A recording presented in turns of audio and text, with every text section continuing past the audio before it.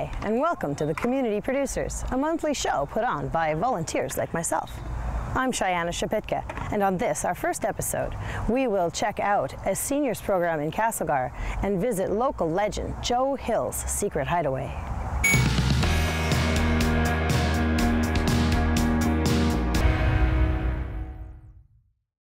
Our first segment comes to you from Rob Wyatt, a local diver who has been exploring the lakes in our area since 1987.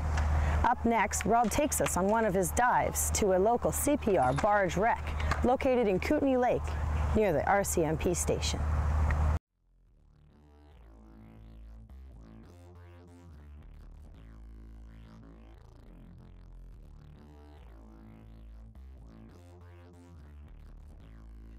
By the 1900s, Nelson was a sophisticated city with many fine hotels, a Hudson's Bay Company store, and an electric streetcar. This is the site of the old CPR shipbuilding yard in Nelson. Many steam tugs and transfer barges were built and serviced right here over 100 years ago.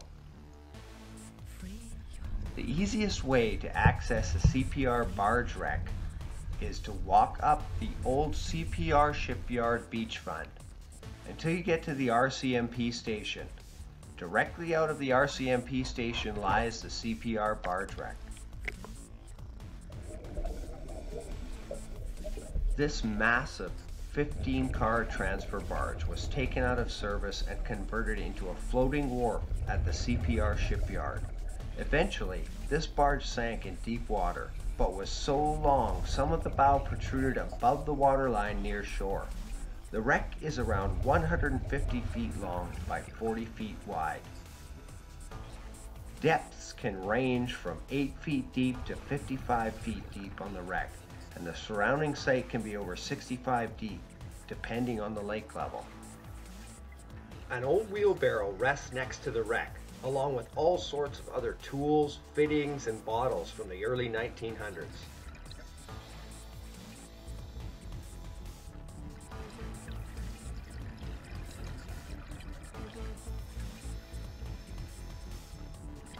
On all transfer barges, large timber stop blocks were constructed at the stern end of each set of tracks to stop the rail cars from rolling off in rough weather. While swimming by the stop blocks, I can't help but wonder how many CPR employees would sit on them during lunch break, enjoying the view of the lake in the early 1900s.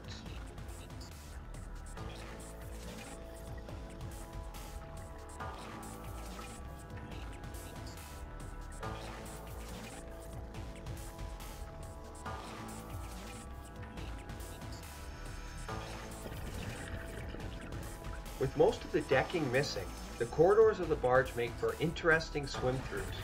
When this barge finally sank, the bow was above the waterline and became a navigational hazard in the arm. The bow was eventually dynamited and this large piece of decking lies off the side in deeper water.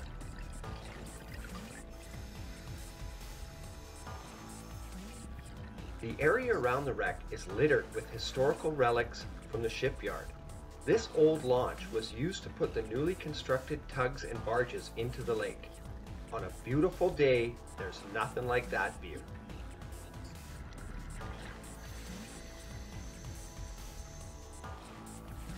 An old coal burning stove lies next to massive pipes on the bottom.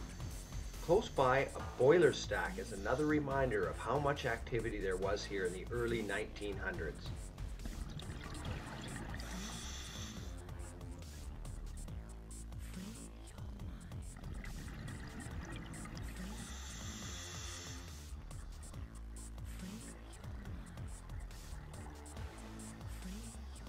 This steel dory is crushed under pilings that have corroded together over the last hundred years.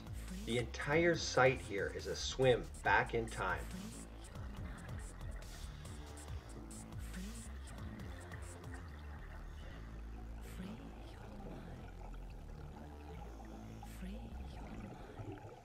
As I make my way to the surface, I am already looking forward to my next visit to this exciting and historical area in Kootenay Lake. Thank you for watching.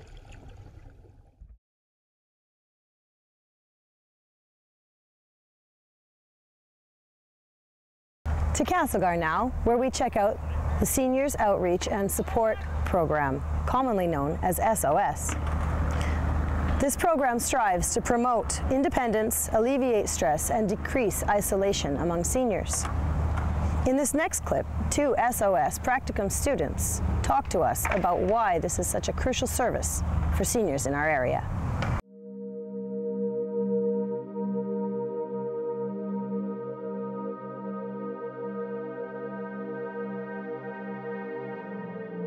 Did you know that in a two year period in Castlegar, the 363 seniors received support in over 1,500 appointments?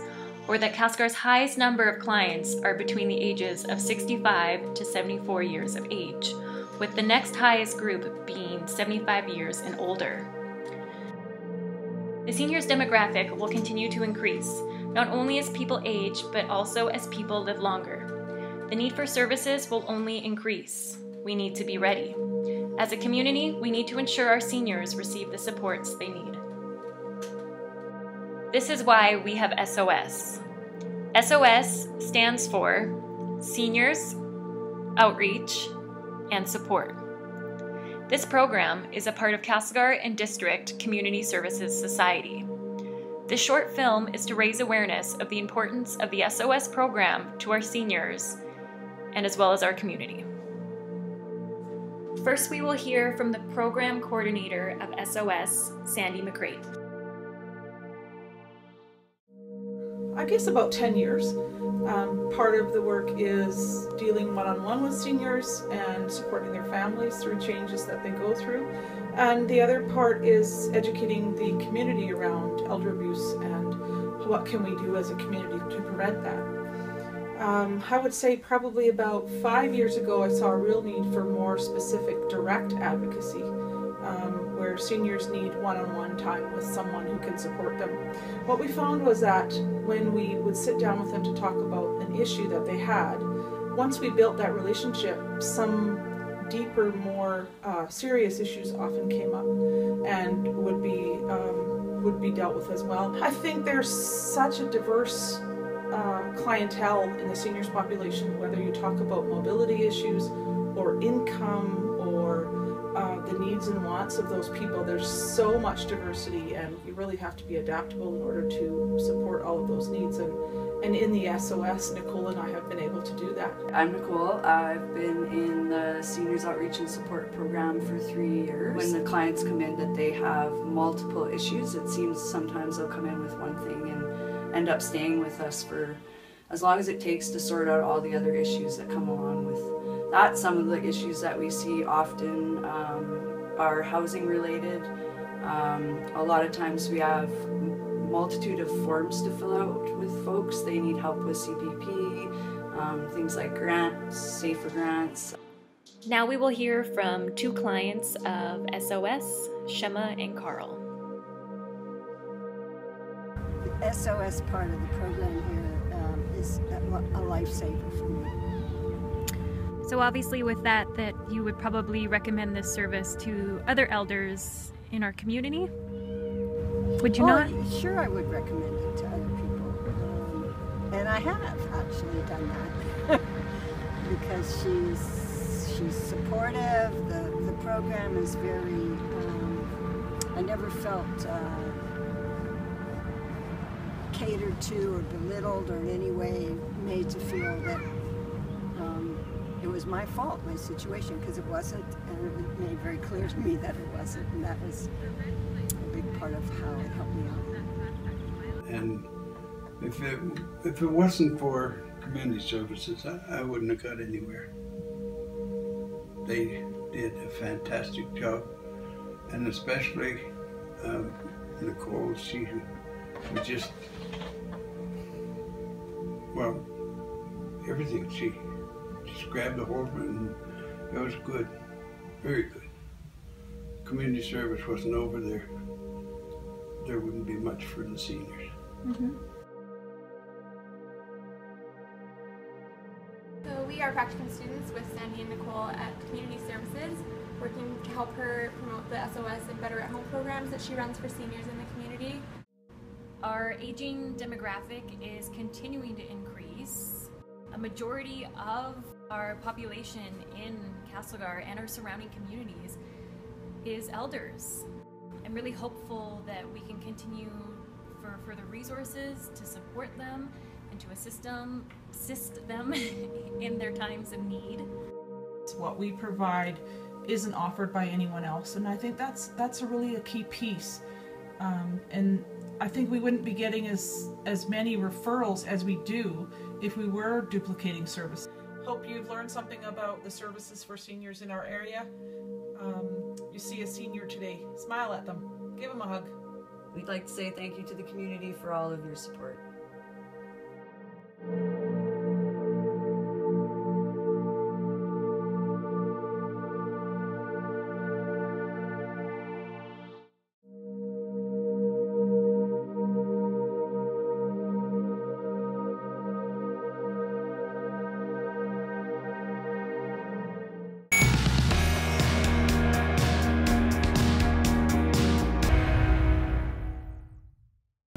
Outdoor exhibit of original sculptures in Castlegar has earned that community the distinction of Sculpture Capital of Canada in 2015.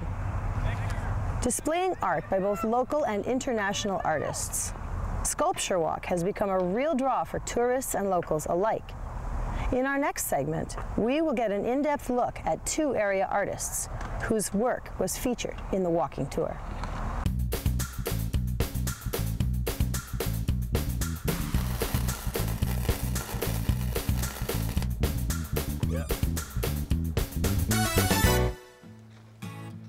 Is my commute to work. It's brutal. When I saw some old logging cable right beside a cedar tree, I was amazed at how similar the texture of the logging cable was to the bark. And I love the contrast of logging cable being something that we harvest the forest with and making a tree out of it. This is the outside of the stump, very bark-like texture. And inside, we'll have a, a cedar bench inside here. And the inside of the tree will all be lined with cedar. And so, yeah, you'll be able to sit down inside and it'll all be nice and smooth, just like the inside of a, of a hollow cedar stump. Ah, right on. We haven't sat here before. This is be good. I've been sculpting outside of timber framing has been 15 years. Most time it's been abs abstract wooden pieces until Sculpture Walk came around and then wood doesn't do so well in the outdoors. So concrete and steel is my new thing. I think it's encouraging to put your hands on. Although I've got a gloved hand, but uh, I think it's great. So the sculpture is called Regeneration. It's, it's a celebration of the forest. And so out of this giant cedar stump made out of logging cable, there's going to be a small nurse tree coming out, three or four feet tall. This is the initial frond, and then there'll be a group of smaller fronds that get welded onto the steel branch. So we're just about to pour another frond. 2,400 degrees? This is what we used to uh, make the cedar fronds. They were pilfered fire hydrant caps, but it, it's a long story and I I thought shouldn't. you got them from the dump. Yeah, I got them from the, that dump. from the I got them from the dump. This is talcum powder. That's as a release for the molten uh, brass. Making metal molten and then pouring it into something that I've carved and being able to reproduce that and then add it to something, it's, it's, to me, it's, it's magic. It's like alchemy.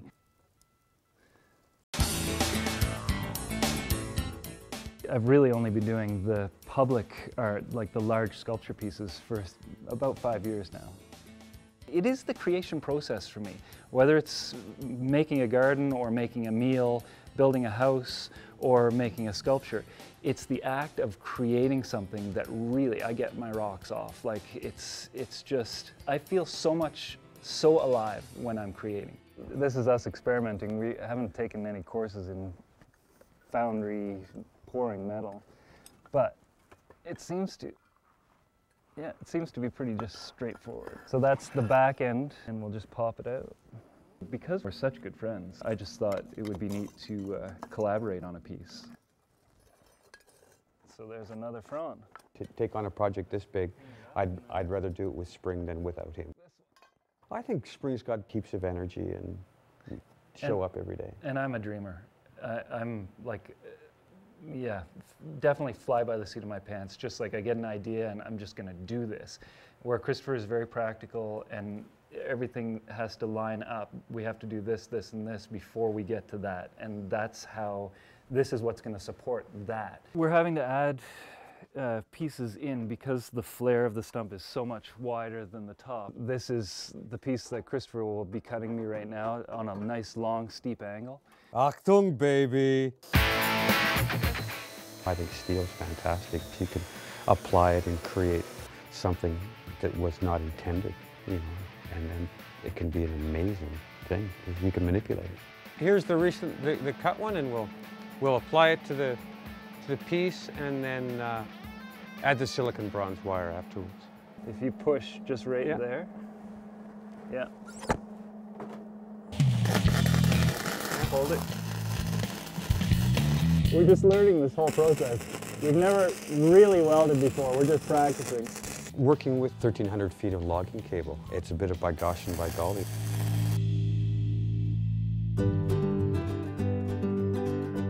When I think of people coming and seeing regeneration, I would want them to, first off, recognize it. I think that most people will have stood in awe of a little tree growing out of a, of a veteran stump.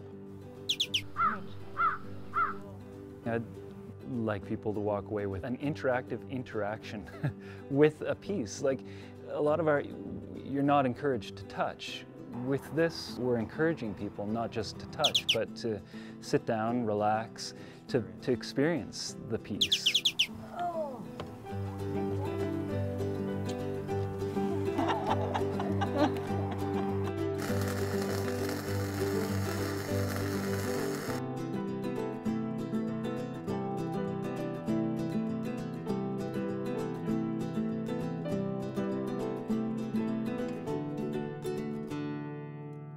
Hi, I'm Cody with this week's community calendar. The Grand Forks Chess Club will be meeting at the Grand Forks Public Library on April 8th from 3 to 4:30. All ages and experience levels are welcome. The West Kootenay Trade Show, April 21st to 23rd from 10 a.m. to 3 p.m. at the Castlegar Community Complex, offering a, a wide variety of booths exhibits, and food vendors. For more information, you can visit the chamber website, castlegar.com.